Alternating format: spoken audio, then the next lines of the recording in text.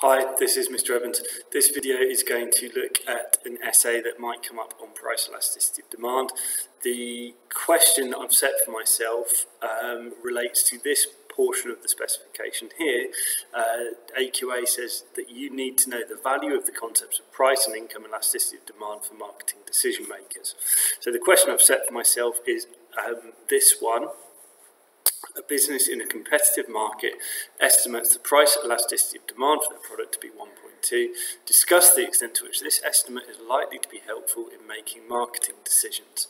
So this could be um, a 20, 24, 25 mark question, depending on whether it's AS or uh, A level. It could be assessed in both um, uh, in, in, both examinations.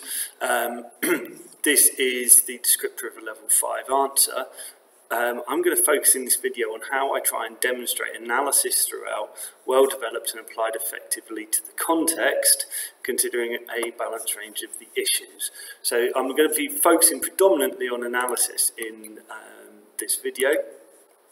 So here is my checklist that I have got for what makes a good uh, evaluative essay. And I'm going to be focusing on point four. I'm going to start each analytical paragraph at the point. And how do I use business terms and connectives to build an argument? So uh, let's just have a look at the question again. So the question here, I've uh, used a highlighter. It might be worth you just pausing the video here uh, and writing a quick plan for how you would approach this essay, and then we'll have a look at my essay.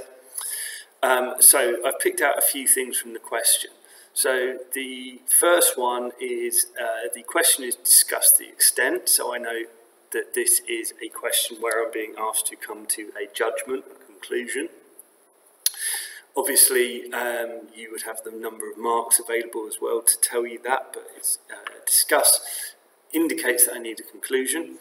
Um, in terms of the context of the question, this is a business in a competitive market.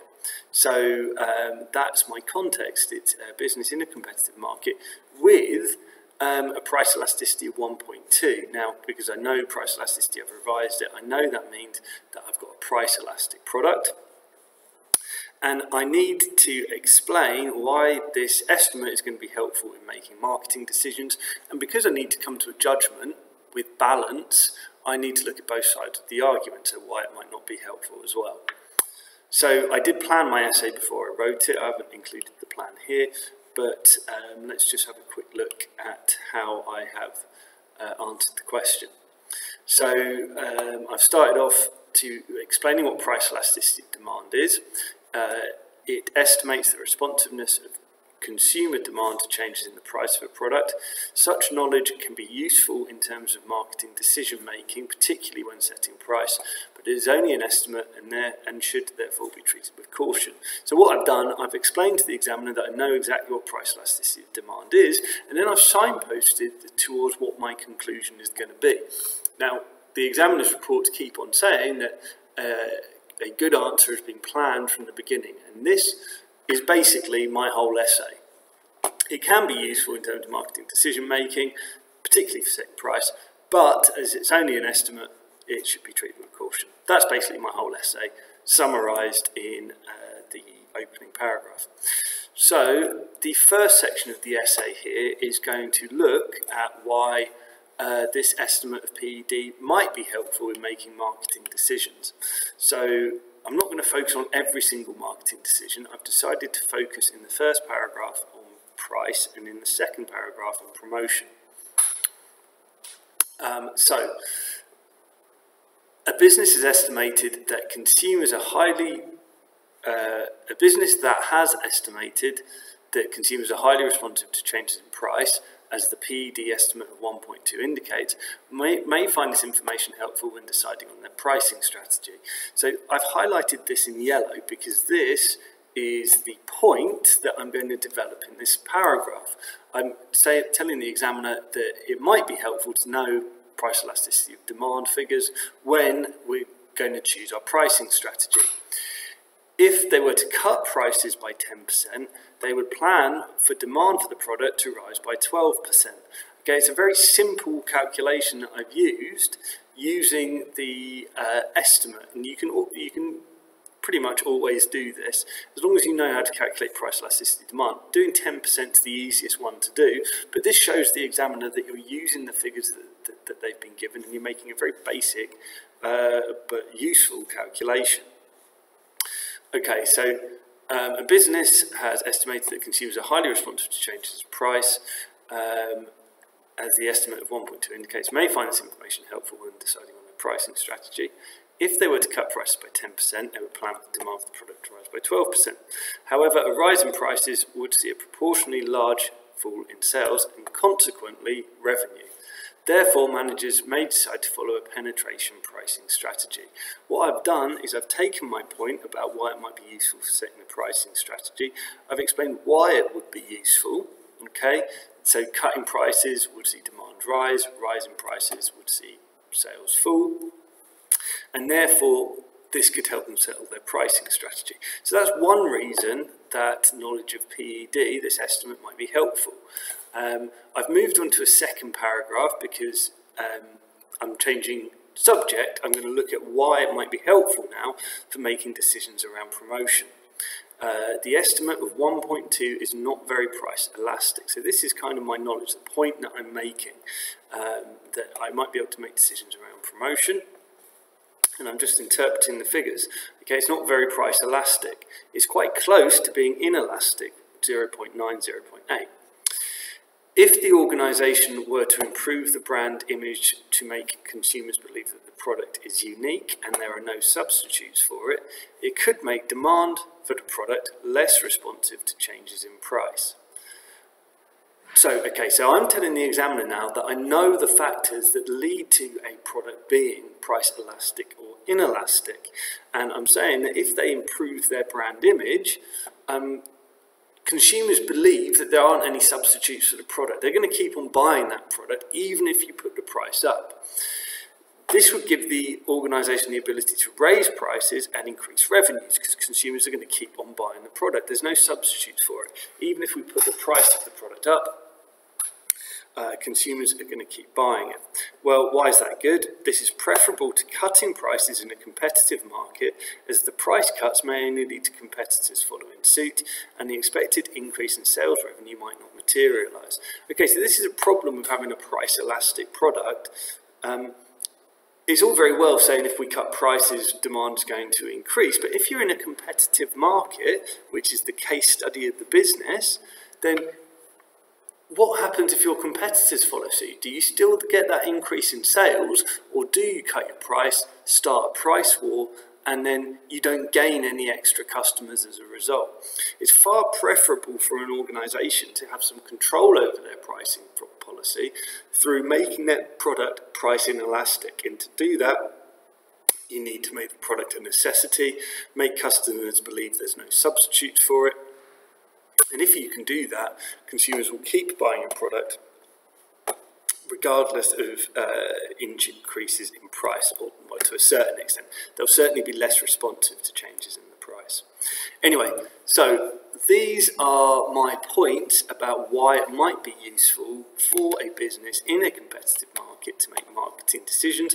They can choose their pricing strategy and they can make decisions about how to promote their brand in order to make the product more price inelastic, which might be preferable to cutting prices in a competitive market. Okay, so now I need to get some uh, balance, balanced range of issues in the question. Um, uh, is what I need to do to hit a level 5 response. So I've got my reasons it may be useful. Next, I've got a couple of paragraphs on why this figure might not be useful. Okay, so however, the figure is only an estimate of price elasticity of demand and may not be accurate. So I'm using the case study. This is in context, it's an estimate. I think they've used the word estimate twice in the question, so that's an important word to pick up on. It is not clear what data the estimate is based on and when it was collected. So this is my point here in yellow at the top of the paragraph. The green shows how I build my argument. So what would that mean? Well, it could be based on a small sample size or changes in the external environment may have occurred in the meantime. For example, changes in income may, might might make consumers less responsive to changes in price. All right, if everyone's income has gone up and you're thinking that your price elasticity of demand, you know, it's an elastic product, well, maybe if consumers are a bit richer, they're prepared to keep on buying a product. Maybe this data is old. Therefore, deciding the pricing policy for a product based on this data could lead to unexpected changes in demand when prices change, affecting estimates of demand and revenues.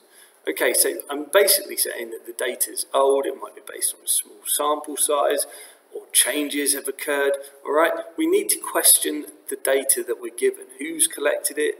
When was it collected, etc. Okay, so that's one problem with this estimate. A second problem um, is that PED gives an estimate of the impact of changes in price on demand and revenue, but the impact on profits is less clear. Now, what I'm going to say here is that price elasticity demand, it estimates how much uh, quantity demanded changes, and from that you can do price times quantity, and you can work out how much revenue will change. But it can be more difficult to work out how profits will change overall. So I've illustrated that with an example.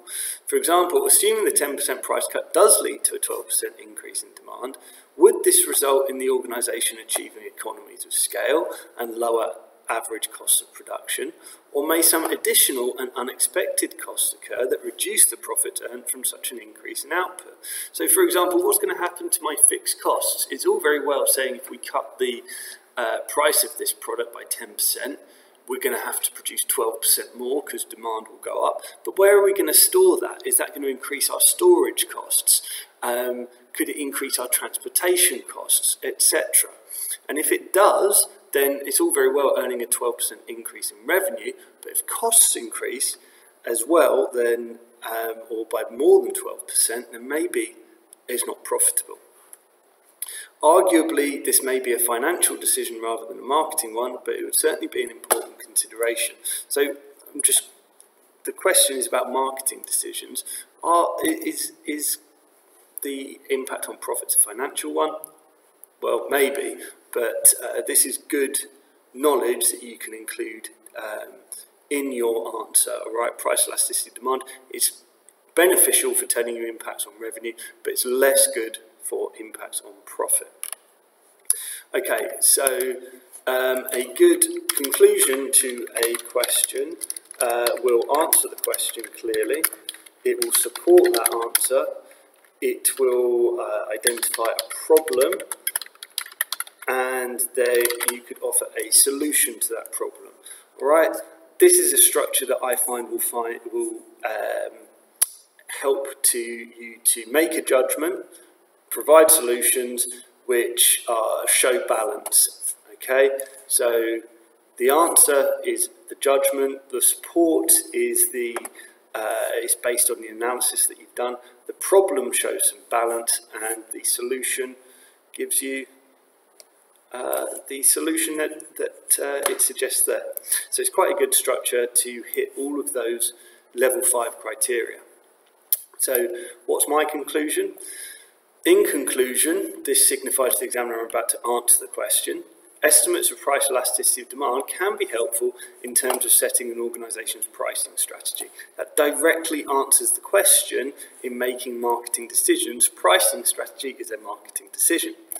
This is because an estimate of 1.2 shows that following a competitive pricing policy may lead to an increase in revenues. So I've mentioned that earlier on in my essay. I've used the case study to support uh, my answer. Right? The however implies that I'm getting a bit of balance in my conclusion. It's based on estimates and does not consider competitors' responses to the price cuts. So um, this is my problem, and now I'm going to go into a solution it may be more beneficial for an organisation to take steps to make demand for their product price inelastic. Well, how could they do that? Perhaps by improving the brand image and reducing the number of substitute goods, as they will then be able to increase the prices without needing to be concerned with the reaction of competitors in the market. So, um, hopefully, uh, that was helpful for you in seeing how I make a point in the beginning of the essay in yellow and then build the chain of argument in green um, using business terminology throughout my essay and then come to a clear conclusion. Um, I hope you found that helpful.